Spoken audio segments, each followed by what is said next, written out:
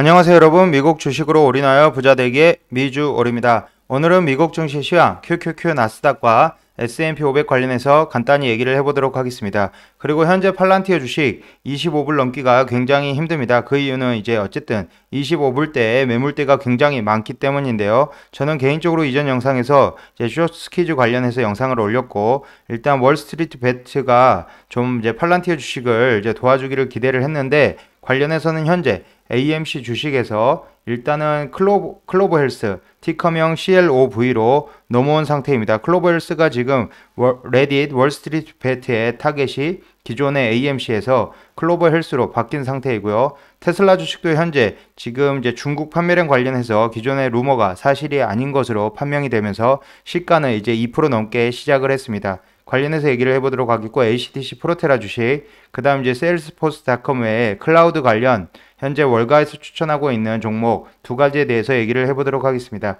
대략적으로 상승은 36% 정도 월가에서 상승이 나올 수 있다라고 지금 얘기를 하고 있습니다.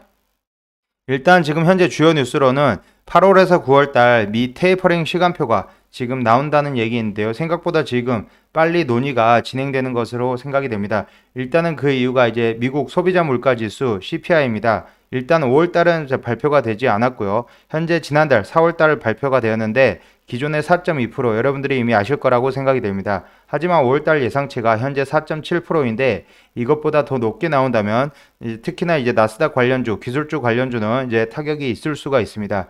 일단 이제 테이퍼링 관련해서 계속적으로 얘기가 나오고 있는데 6월 15, 16일에 FOMC 관련해서 아마 테이퍼링에 대한 얘기를 할 것이라고 CNBC에서, CNBC에서도 방송을 하고 있습니다. 아무래도 이제 테이퍼링이 공식화되는 것으로 생각이 되고요. 하지만 현재 이미 테이퍼링과 관련된 어느 정도 지수의 어, 영향은 반영이 되었기 때문에 테이퍼링이 본격적으로 논, 논의가 된다 해서 아주 급격하게 하락은 나오지 않을 수가 있으나 현재 오른 정도의 이제 어느 정도 조정은 있을 수 있다라는 점 참고로 봐주시면 될 것으로 생각이 됩니다. 어, 매수나 매도 의견은 아니고 이제 투자주의는 한번 읽어봐 주시면 될 것으로 생각이 됩니다. 멤버십 여러분 감사드립니다. 일단 팔란티어 먼저 보도록 하겠습니다. 앞서서 영상에서 얘기를 했듯이 이 25불대 전후로 그러니까 49에서 51불 사이에 엄청나게 많은 매물대가 몰려 있기 때문에 일단 위아래 향방에 따라서 지금 굉장히 차이가 있을 수가 있습니다. 그렇기 때문에 일단 25불 넘기가 힘들고요. 지금 보시면 이제 클로브 관련해서 대략 50% 정도 상승이 나오고 있습니다. 기존의 AMC 주식 월스트리트 베츠에서 이제 공격적으로 달려들면서 지금 타깃이 AMC 주식에서 클로브로 이제 변경이 되었고요. 클로브 대략 현재 프리자, pre-market부터 급등을 하더니 현재 50불, 50%에 급등을, 하, 급등을 하고 있습니다. 하지만 지금 들어가는 단계는 굉장히 위험해 보이고요. 게임스탑도 마찬가지로 현재 기준에서 대략 17% 상승한 모습을 보여주고 있습니다. 참고로 이제 버진 갤럭시 제가 영상에서 계속 올려드렸는데 저는 개인적으로 이 그려놓은 지지 라인에서 더 이상 올라가지 못할 것으로 생각을 하였으나 현재 5.51% 정도 더 큰 상승이 나오고 있다는 점 참고해 주시고요. 제가 지난 영상에서 소개드렸던 클라우드 스트라이크는 일단 어제 오늘 지금 좋은 상승 흐름이 나오고 있다는 점 참고해 주시면 되, 겠습니다 일단 세일즈포스닷컴 이후에 어, 월가에 관련해서 얘기를 해보도록 하겠고요. 일단 현 시황 한번 간략히 보도록 하겠습니다. 다우 같은 경우는 0.16% 하락, 나스닥은 0.29% 상승, S&P 500은 0.06% 지금 하락이 나오고 있고요. 현재 아주 큰 증시의 흐름은 없지만 일단 나스닥은 상승 출발이 좋았으나 지금 다시 하락이 나오고 있는 모습이고요. 특히나 이제 테슬라 같은 경우 이제 중국발 루머가 사실이 아님을 밝혀지면서 판매량 관련해서 사실이 아님을 파, 밝혀지면서 테슬라 같은 경우는 기존에 2% 이상 상승이 나왔고 현재 611.48불에 위치하고 있습니다. 저는 개인적으로 테슬라 600불 이하 그러니까 580불, 90불 때 에서는 무조건 주춤해야 되지 않나라고 여러 차례 얘기를 드렸고요. 아마존 같은 경우는 1.39% 꾸준히 상승이 나오고 있습니다. 개인적으로 이제 구독자분께서 아마존을 어느 시점에 매수를 해야 되냐라고 지금 문의를 주셔서 잠깐 아마존 차트를 보면은 지금 현재 상태에서도 좋지만 저는 개인적으로 3,000불, 3,100불대로 떨어진다면 더 매수하기는 좋을 것으로 생각이 되고요. 현재 이 박스권에 갇혀 있는 상태이기 때문에 이 박스권 상단보다는 하단 부분에 이제 매수를 하는 게 맞다라고 생각이 됩니다. 하지만 이런 아마존 같은 주식은 장기로 가져갈 때 최소 1, 2년 내에 30% 이상 지금 이제 상승 흐름이 나올 것으로 개인적으로 생각하고요. 애플은 1% 상승, 구글은 0.36% 상승, 마이크로소프트 0.46% 상승이 나오고 있습니다. 엔비디아 같은 경우는 마이너스 1.26% 하락이 나오고 있는데 기존에 이제 목표가 700불을 제시해 드렸고요. 지금 소프트웨어 관련 클라우드 관련 기업으로 세일즈포스 1.14% 정도 상승이 나오고 있습니다. 일단 SOXL과 FNGU 같은 경우 제가 계속 얘기를 드렸지만 XXL, SOXL 같은 경우 40불부터 이제 분할 매도를 해야 된다고 얘기를 드렸고요. 오늘도 40불 이상 한번 터치를 한 것으로 지금 보고 있습니다. FNGU도 현재 30.3불에 위치를 하고 있지만 마찬가지로 분할 매도를 계속 해야 된다고 생각이 되고 SOXL과 FNGU는 이제 없으신 분들을 위해 제가 새로운 매수 타이밍이 나온다면 여러분들에게 영상으로 공개를 하도록 하겠습니다. 일단 세일즈포스닷컴 현재 어, 저는 개인적으로 이제 좋은 흐름으로 보여질 것으로 생각이 되는데 현재 241.22불에 위치를 하고 있습니다. 하지만 이런 것들이 모두 이제 증시 자체가 좋아야 된다라고 생각이 되고요. 일단은 이제 월가의 개인적인 의견을 한번 보도록 하겠습니다.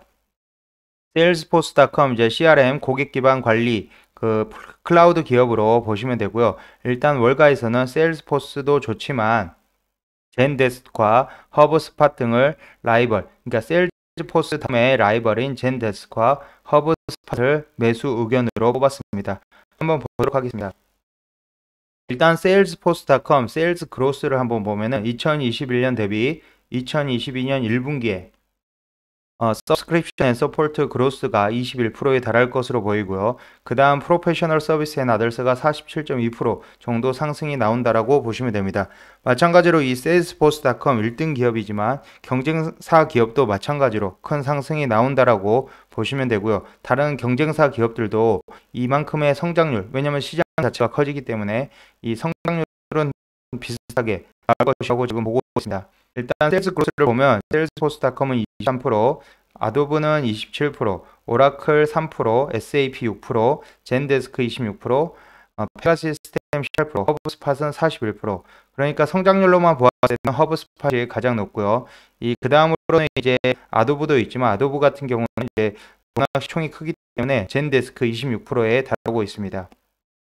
현재 free cash flow도 그렇게 나빠 보이지 않고요. 현재 PSR 기준으로 보았을 때 세일즈포스닷컴 8.1, 아도브 15.2, 오라클 5.8, SAP 5.2, 젠데스크는 11.3, 페가시스템 7.5, 허브스팟은 17.3에 위치를 하고 있습니다. 그래서 관련 기업들로 보았을 때 세일즈포스닷컴 현재 가치 아, 가치가 높게 측정되어 있는 것은 아니라고 보시고 앞으로 이제 12개월 동안 월가에서 어느 정도 potential이 있는지 분석을 해놓은 표가 있습니다. 여러분들이 이 표를 참고를 해주시면 되고요. 이 표를 보실 때는 항상 share buy rating을 높은 순으로 보시고 그 다음에 12개월 어, potential 얼마나 있는지 보시면 될 것으로 생각이 됩니다. 세일즈포스닷컴은 어, buy rating이 79%에 18% 상승 여력이 있다는 것이고 그나 이제 그 다음으로 이제 꼽을 게 젠데스크와 페가 시스템 허브 스팟입니다.